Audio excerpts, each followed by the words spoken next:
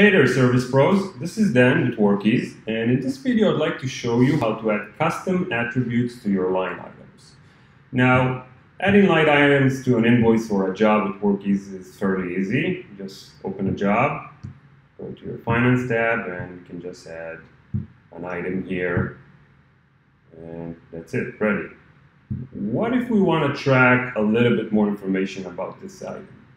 So I'll head over to settings and then over to my items and products and let me edit one of those items. Now you'll notice there's another button here that says add item field. So let me add a new field and I'll call this one color because I want to save the finish of this uh, handle.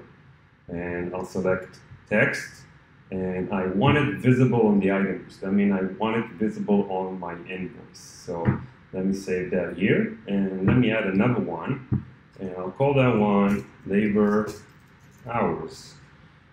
Now here I'll select quantity based number.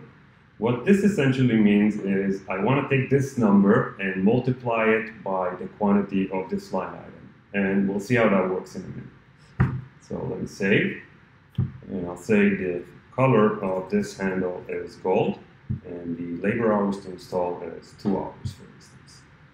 And I'll save. Now let me head over back to my job here and go to the finance tab, add an item, select that new handle that I have and sure enough we have the color and the labor hours. Let's say I want to install three of those. So we can see the color attribute we've selected to show on the item list is here. And the labor hours have been summed up for us.